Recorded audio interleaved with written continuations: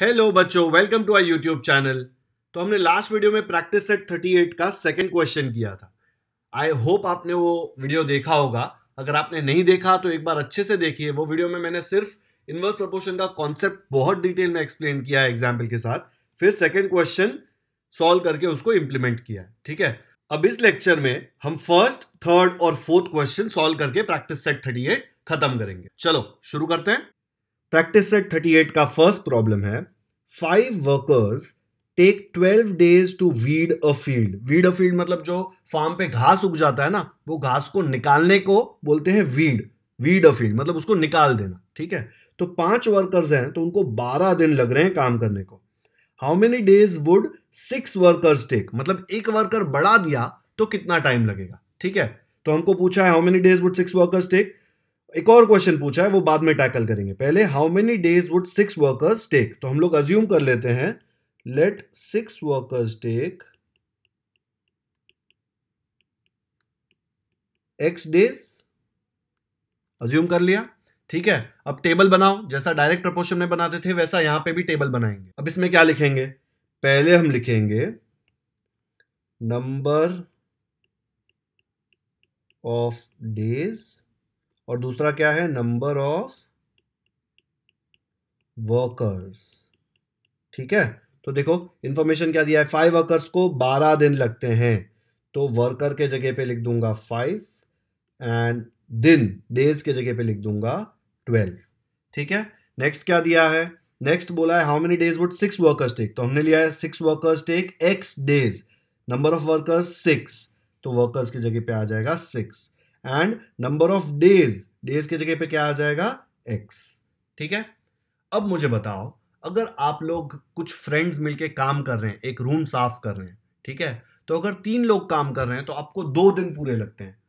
अगर पाँच लोग मिलेंगे, अब लोग फाइव फ्रेंड्स आ जाएँगे तो काम जल्दी होगा ना? ठीक है?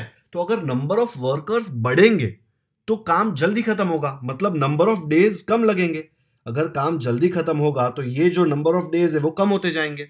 मतलब वर्कर्स बढ़े तो नंबर ऑफ़ डेज़ कम हुए। दोनों ऑपोजिट डायरेक्शन में जा रहे हैं ना, उसका मतलब कौन सा प्रपोर्शन इनवर्स प्रपोर्शन तो मैं क्या लिखूँगा? The number of days and workers are in inverse proportion और वो लोग अगर इनवर्स प्रपोर्शन में हैं तो हमें क्या पता है? हमें पता है कि इन दोनों का प्रोडक्ट इज़ इक्वल टू इन दोनों का प्रोडक्ट अभी सीखा था ना? तो क्या आ जाएगा? मैं बोल सकता हूँ twelve into five will be equal to x into six correct अब मुझे x की वैल्यू चाहिए तो x को यहीं पे रहने दो, ये सिक्स को यहाँ पे लेके जाओ। अब ये सिक्स यहाँ पे मल्टीप्लाई हो रहा है तो वहाँ जाके क्या होगा? डिवाइड होगा। तो क्या आ जाएगा नेक्स्ट स्टेप नेक्स्ट स्टेप आ जाएगा therefore twelve into five equal to x अब ये जो इंटू सिक्स था ना यहाँ पे, उसको मैं इस तरफ़ नीचे लेके आया। ठीक है? अब इसको सॉल्व करो। क्या आएगा? सिक्स वन जार सिक्स टू जार। ऊपर क्या बचा? Two into five which is nothing but ten तो मुझे एक्स की वैल्यू क्या आ गई? टेन अब तो एक्स की वैल्यू आ गई तो एक आंसर मिल गया। एक आंसर क्या आया? Six workers will take ten days तो एक आंसर हमको मिल गया। अब उसने एक और क्वेश्चन पूछा क्या पूछा है? How many would fifteen take मतलब क्या है? फ़र्स्ट क्वेश्चन पूछा था how many days would six workers take तो हमने निकाला six workers will take ten days उसके बाद पूछा है हाउ मेनी वुड मतलब fifteen how many days would fifteen workers take ठीक है तो इसको कैसे सॉल्व करेंगे? अब इसमें पूछा है फिफ्टीन वर्कर्स को कितना टाइम लगेगा?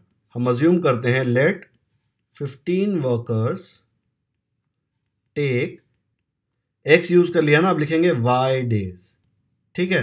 तो यही टेबल में मैं आगे बढ़ा दूँ सपोज़ तो नंबर ऑफ़ डेज़ अगर वाई हो जाते हैं, कितने वर्कर्स हैं? फिफ्टीन वर्कर्स ये वाला टेबल देखो, ऐसे ही भरा है ना? फिफ्टीन वर्कर्स को वाई डेज़ लगते हैं। तो देखो नंबर ऑफ़ डेज़ के जगह पे वाई आ गया एंड नंबर ऑफ़ वर्कर्स के जगह पे फिफ्टीन आ गया। फिफ्टीन वर्कर्स थे ना? ठीक है? तो अब ये तो सेम क्वेश्चन में इनवर्स प्रपोर्शन है। तो मुझे क्या पता है? मैं लिख सकता हूँ देर फॉर अभी देखो, इसके साथ इसको लिखो। क्यों? क्योंकि अगर इसके साथ इसको लिख दिया तो एक्स भी अननोन है वाई भी अननोन है। एक्चुअली एक्स हमने निकाल लिया है बट यहाँ पे टेबल में नहीं लिखा है ना। तो इसके साथ, ये वाला प्रोडक्ट और ये वाला प्रोडक्ट भी सेम ही आएगा बिकॉज़ इनवर्स प्रपोर्शन है। तो मैं क्या लिख सकता हूँ?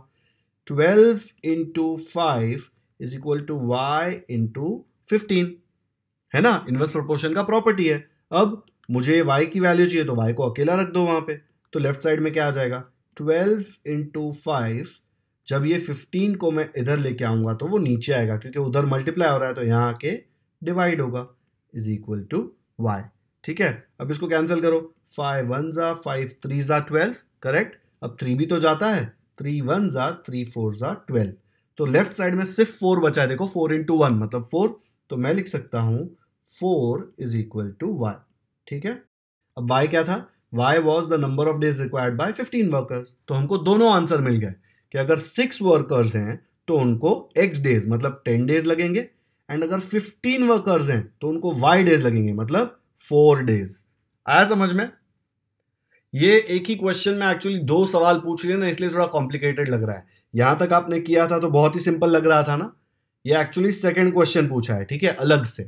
तो ज़्यादा टेंशन मत लो, बहुत ही सिंपल है ये।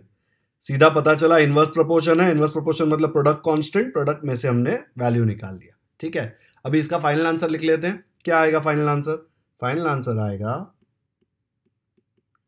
six workers would take 10 days and 15 workers मतलब और बढ़ा दिए workers would take how many days y की वैल्यू क्या है फोर डेज़ यही था ना? 15 workers takes y days y का वैल्यू क्या है? फोर इसलिए 15 workers would take four days हो गया। आया समझ में? चलो नेक्स्ट क्वेश्चन करते हैं। थर्ड क्वेश्चन है। Mary cycles at six kilometer per hour how long will she take to reach her aunt's house which is twelve kilometer away मतलब मेरी साइकिल लेके उसके आंटी के घर पे जा रही है एंड वो सिक्स किलोमीटर पर आर की स्पीड से जा रही है, ठीक है? तो पूछा है कि उसको कितना टाइम लगेगा? बारह किलोमीटर अगर उसकी आंटी का घर दूर है तो कितना टाइम लगेगा? ये तो बहुत सिंपल है distance is equal to speed into time वाला फॉर्मूला यूज़ कर लेंगे। If she cycles at a speed of four kilometer per hour how long would she take अभी ये प्रपोर्शन का क्वेश्चन है, ठीक है? चलो सॉल्व करते हैं। चलो, सबसे पहले लिखेंगे स्पीड इज़ इक्वल टू कितना है speed six kilometer per hour and distance कितना है?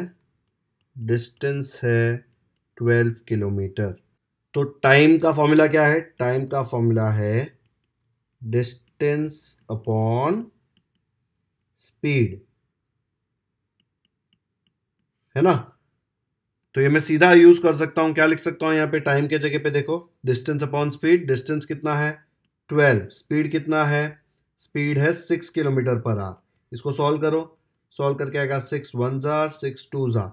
तो मुझे आंसर आ गया टू आवर्स ठीक है? अब ये टाइम कौन सा टाइम है? ये टाइम है जब साइकिल कौन सी स्पीड से? है सिक्स किलोमीटर पर आर। तो आप यहाँ पे लिख सकते हैं time when cycle travels at six kilometers per hour ठीक है?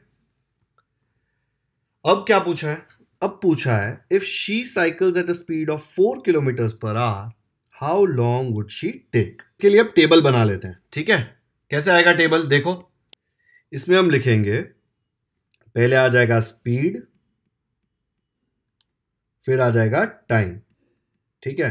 तो पहले केस में क्या था? She was travelling at six kilometer per hour तो स्पीड में लिख देंगे सिक्स फिर उसमें टाइम क्या आया था? टाइम आया था टू आवर्स हमने कैलकुलेट किया था तो ये हो गया टू अब नेक्स्ट केस में पूछा है if she cycles at a speed of four kilometer per hour मतलब स्पीड दिया हुआ है four how long would she take तो हम वो हाउ लॉन्ग को ले लेते हैं एक्स ठीक है? तो इसके पहले लिख देंगे let it take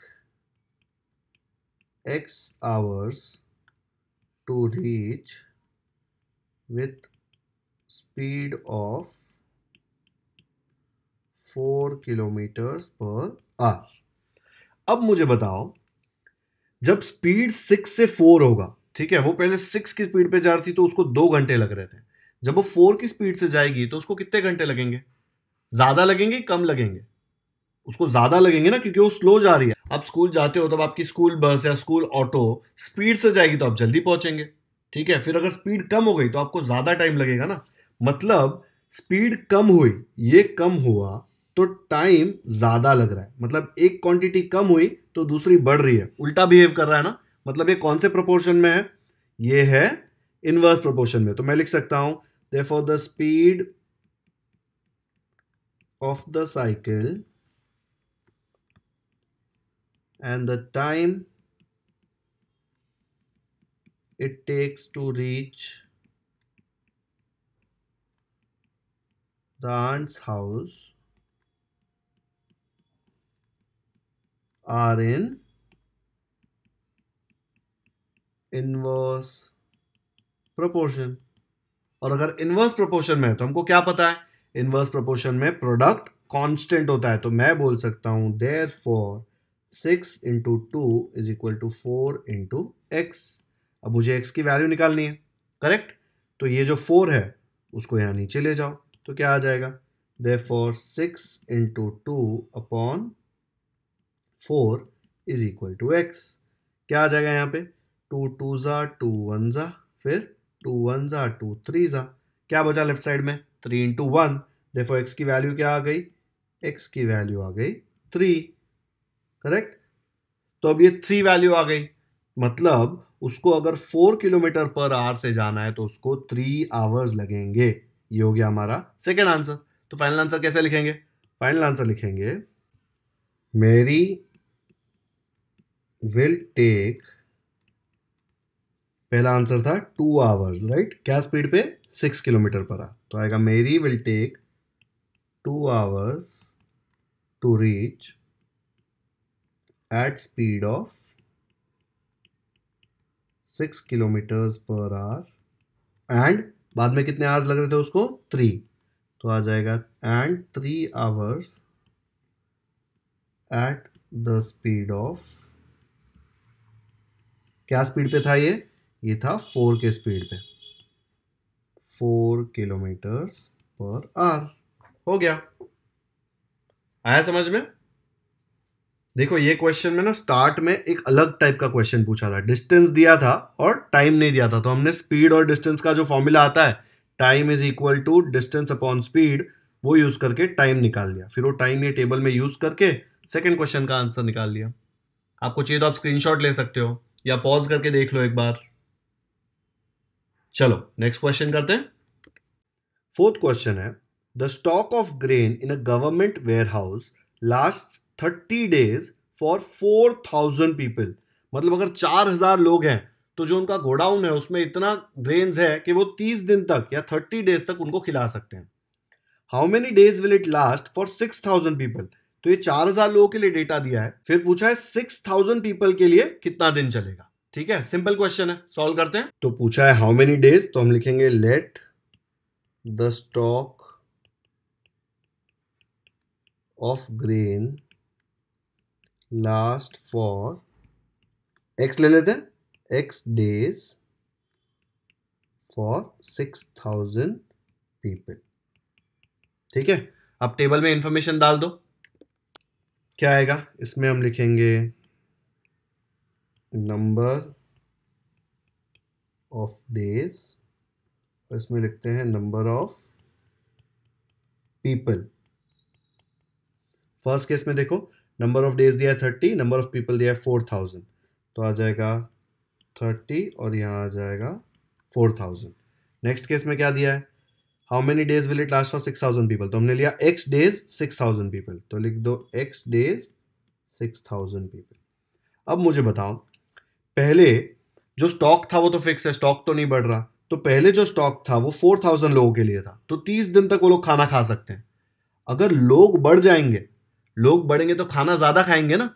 तो पहले थर्टी डेज़ तक खाना चल रहा था। अब ज़्यादा चलेगा कि कम चलेगा? ऑब्वियसली कम चलेगा। तो अगर कम चल रहा है मतलब क्या हो रहा है? नंबर ऑफ़ पीपल बढ़ रहे हैं तो नंबर ऑफ़ डेज़ कम हो रहे हैं। इसका मतलब ये कौन सा प्रपोर्शन है? इनवर्स प्रपोर्शन तो हम क्या लिखेंगे? एक क्वेश्चन समझने के लिए ये देखो। आपके पास सपोज़ एक डेरी मिल्क है, ठीक है? उसमें चार पीसेस हैं। अगर आपको सिर्फ़ वो दो लोगों के साथ शेयर करनी है तो आपको अगर एक पीस एक दिन का मिलता है तो वो कितने दिन चलेगी? दो दिन चलेगी ना? लेकिन अगर मैं बोलता हूँ टोटल चार लोग हैं मतलब पहले दो लोग थे, अब चार लोग हैं तो डेरी मिल्क कितने दिन में खत्म हो जाएगी? आज के आज ही खत्म हो गई ना? मतलब नंबर ऑफ़ पीपल बढ़े तो मेरा खाना कम दिन चला ना? ये नंबर ऑफ़ पीपल बढ़ गए। सेम है ये केस ठीक है? हम लिखेंगे the number of days and number of people are in inverse proportion okay और अगर वो इनवर्स प्रपोर्शन में तो हमको क्या पता है? हमको पता है कि ये जो प्रोडक्ट है, वो कांस्टेंट आएगा। तो मैं लिख सकता हूँ thirty into four thousand is equal to x into six thousand अब मुझे एक्स की वैल्यू निकालनी है तो ये सिक्स थाउज़ेंड को यहाँ पे नीचे भेज दो तो क्या आ जाएगा? Four thirty into four thousand upon six thousand is equal to x तो काफ़ी सिंपल है। देखो सिक्स थाउज़ेंड का ये वाला ज़ीरो फोर थाउज़ेंड के साथ कट होगा, ये वाला ज़ीरो उसके ज़ीरो के साथ, ये वाला ज़ीरो ऊपर वाले के साथ। अब सिक्स और थर्टी एक ही टेबल में जाते हैं तो मैं बोल सकता हूँ सिक्स वन जार सिक्स फाइव जार अब ऊपर क्या बचा? Five into four which is nothing but twenty तो मैं बोल सकता हूँ देखो twenty is equal to X ठीक है? अभी एक्स का वैल्यू ट्वेंटी आ गया, वही तो चाहिए था। तो हम क्या बोल सकते हैं? The stock of grain will last for twenty days for six thousand people तो लिख दो फाइनल आंसर क्या आएगा? The stock of grain will last for 20 days for 6000 people हो गया। आया समझ में? बहुत ही सिंपल क्वेश्चन था। सिर्फ़ कैलकुलेशन थोड़ा बड़ा लग रहा था, लेकिन था नहीं बड़ा। आप पॉज करके देख सकते हो या स्क्रीनशॉट ले सकते हो। ओके तो बच्चों, यहाँ पे हमारा direct proportion and inverse proportion का प्रैक्टिस सेट 38 खत्म होता है। इसमें हमने क्वेश्चन वन थर्ड और फोर्थ सॉल्व किया। ठीक है? क्वेश्चन नंबर टू हमने इसके पहले वाले वीडियो में सॉल्व किया था। तो आपने अगर वो नहीं देखा है तो ज़रूर से देख लेना। और आपको अगर ये वीडियो पसंद आया हो तो इसे लाइक और शेयर ज़रूर करें। आपको कोई भी डाउट हो तो आप हमें कमेंट सेक्शन में पूछ सकते हैं। अगर आपको ये वीडियो समझ आ गया है तो आप हमें कमेंट सेक्शन में बता सकते हैं कि आपको ये प्रैक्टिस सेट समझ में आ गया है। बच्चों, अगर आपने हमारे चैनल को अब तक सब्सक्राइब नहीं किया है तो सब्सक्राइब करना ना भूले। इस चैनल के बारे में आपके दोस्तों को भी बताएँ ताकि वो भी कॉन्सेप्ट्स अच्छे से समझ सके। Thank you for watching this video